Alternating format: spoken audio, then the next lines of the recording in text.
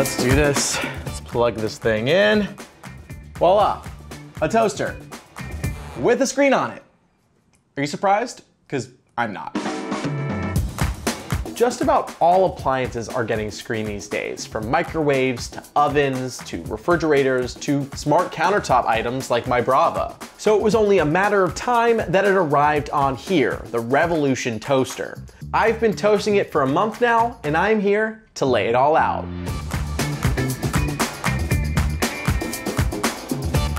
The Revolution InstaGLO R270 is the most premium toaster of its category. It helps you get the exact toast level you're looking for by choosing from a variety of bread options and settings. Plus, because of its diamond-shaped heating element, it uses less energy and cooks much faster than conventional toasters. This elevated toasting doesn't come cheap. This thing goes for $3.99. There are a couple cheaper models that are slightly more limited, but first, let's take a look at this one.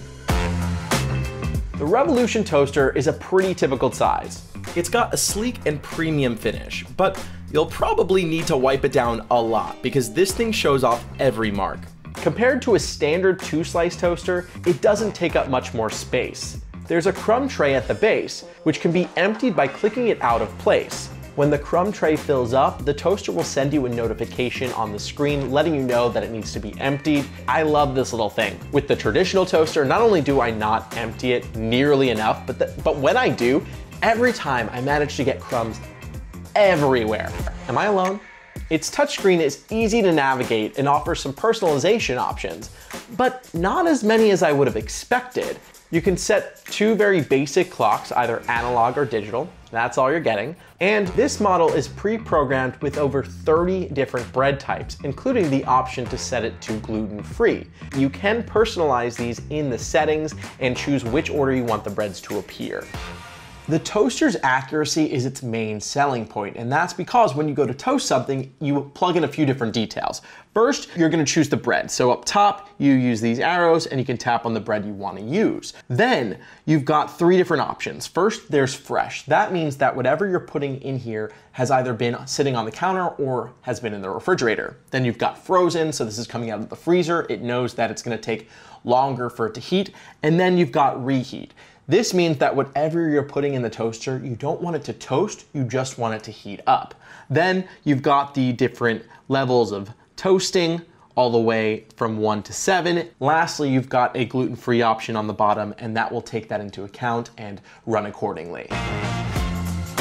Over the past month, I've been putting this toaster to the test with lots of bread, lots of toast, lots of carbs, and I've gotta say, I am impressed with how accurate the final product is in comparison to what the screen shows when you're setting it up. Got some whole wheat bread, two slices in, set it on level four, and start. And there it is. Look at that, exactly what I was looking for. This toaster does not have Wi-Fi, meaning you're not gonna be getting routine updates and it can't connect or control your smart home. What I think would take this toaster to the next level is a few things. Being able to upload photos and use this as a digital picture frame when it's in standby mode. Maybe having your calendar updates on here, or even the ability to activate, say, three or four smart home scenes right from the touchscreen. Having smart features like that would possibly warrant the price tag for a lot more people. Now, what would make an upscale toaster even more premium? accessories, of course, and this has two optional accessories. First, there is the warming tray. This can be used just setting it right on top and placing whatever you want to heat. What I found was I needed to run the cycle a couple of times, and specifically with the muffin, when I started eating it, it was still cold inside. So I think what I would recommend for thicker foods would be to cut them down the middle and place them uh, side by side. Next, we've got the panini press, and this is super simple to use. All you gotta do is throw in a slice of bread, put down your cheese, put down whatever meats you wanna put in there, put down some more cheese, pop that in there, and voila, you've got a panini and it's super tasty. And fun fact, if you're not sold on the Revolution toaster, but you like the panini press, it works with traditional toasters. The Revolution toaster offers the most features and functionality of any toaster I've ever seen.